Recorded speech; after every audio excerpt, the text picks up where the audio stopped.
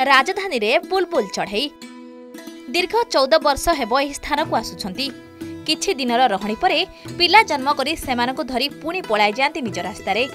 ଚଉଦ ବର୍ଷ ତଳେ ନିଜ ଘର ଛାତରେ ଦୁଇଟି ଗଛ ଲଗାଇଥିଲେ ରାଜଧାନୀର ବିଶ୍ୱଜିତ ପଟ୍ଟନାୟକ। ଗଛ ଲାଗିବାର କିଛି ଦିନ ପରେ ଏଠାକୁ ଆସିଥିଲେ ଦୁଇଟି ବୁଲବୁଲ ଚଢ଼େଇ। ସେହି ଗଛରେ ବସା କରିବା ପରେ ଅଣ୍ଡା ଦେଇଥିଲେ। ଅଣ୍ଡାରୁ ଛୁଆ ବାହାରିବା ପରେ ଛୁଆକୁ ଉଡ଼ିବା ଶିଖାଇ ଫେରି ଯାଇଥିଲେ ଆସିଥିବା ସ୍ଥାନକୁ। ବର୍ଷକୁ ଦୁଇଥର ଏହି ଚଢ଼େଇ ଏଠାକୁ ଆସୁଥିବା କହିଛନ୍ତି ବିଶ୍ୱଜିତ। ଦୁଇହଜାର ଛଅ ସାତ ମସିହାରୁ ଦୁଇହଜାର ଏକୋଇଶ ମସିହା ପର୍ଯ୍ୟନ୍ତ କ୍ରମାଗତ ଭାବେ ସିଏ ତାର ବର୍ଷରେ ଦୁଇଥର କିମ୍ବା ତିନିଥର। କିନ୍ତୁ ଦୁଇଥର ନିଶ୍ଚିନ୍ତ ତିନିଥର କଦବା କ୍ୱଚିତ।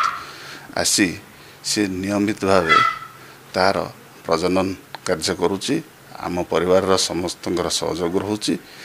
ଏଇ ବୁଲବୁଲ ଚଢ଼େଇ ଦୀର୍ଘ ଚଉଦ ବର୍ଷ ଆସିବା ନିରବଚ୍ଛିନ୍ନ ଆସିବା ପଛରେ ମଧ୍ୟ ଏକ ରହସ୍ୟ ଅଛି ମୁଁ ଭାବୁଛି।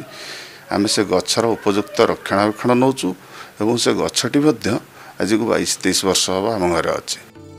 ବୁଲବୁଲ ପକ୍ଷୀ ସାଧାରଣତଃ ଇଣ୍ଡୋନେସିଆ ମଲେସିଆ ଫିଲିପାଇନ୍ସ ଆଦି ଦେଶରେ ଦେଖାଯାନ୍ତି କିନ୍ତୁ ଓଡ଼ିଶାରେ ଏ ପକ୍ଷୀଙ୍କୁ ଦେଖିବା ବିରଳ।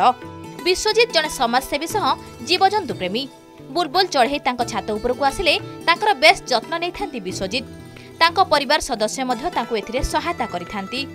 ଆମ ଘର ତାକୁ ସୁରକ୍ଷା ଦେଉଛି। ସେ ସେ ଦୃଷ୍ଟିରୁ କ୍ରମାଗତ ଭାବେ ଆସୁଛି।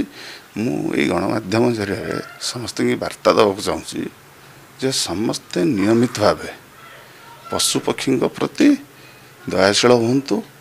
ଯଦି ଏମିତି କେଉଁ ଜାଗାକୁ ଆସି ସେ ତାଙ୍କର କାର୍ଯ୍ୟ କରୁଛନ୍ତି ପ୍ରଜନନ କାର୍ଯ୍ୟ ସମସ୍ତେ ସେଥିରେ ସାମିଲ ହୋଇ ତାଙ୍କୁ କୌଣସି ଡିଷ୍ଟର୍ବ ନ କରି ତାଙ୍କୁ ଯେମିତି ସିଏ ପ୍ରଜନନ କରି ପୁଣି ଥରେ ତାଙ୍କର ନିୟମିତ ପ୍ରକ୍ରିୟାକୁ ଫେରିପାରିବେ ସୁଯୋଗ ସୃଷ୍ଟି କରନ୍ତୁ। ନିଜ ଛାତ ଉପରକୁ ଆସୁଥିବା ପକ୍ଷୀଙ୍କ ପାଇଁ ସବୁବେଳେ ତତ୍ପର ଥାନ୍ତି ବିଶ୍ୱଜିତ। ସେମାନଙ୍କ ରହଣି ସହ ଖାଦ୍ୟ ଓ ପାନୀୟର ବ୍ୟବସ୍ଥା କରିଥାନ୍ତି ପୁରା ପରିବାର। ଭୁବନେଶ୍ୱରରୁ କ୍ୟାମେରା ପର୍ସନ ଦୀପଙ୍କ ସହ ସୁଶାନ୍ତ ସାହୁଙ୍କ ରିପୋର୍ଟ ଅର୍ଗସ୍ ନ୍ୟୁଜ୍।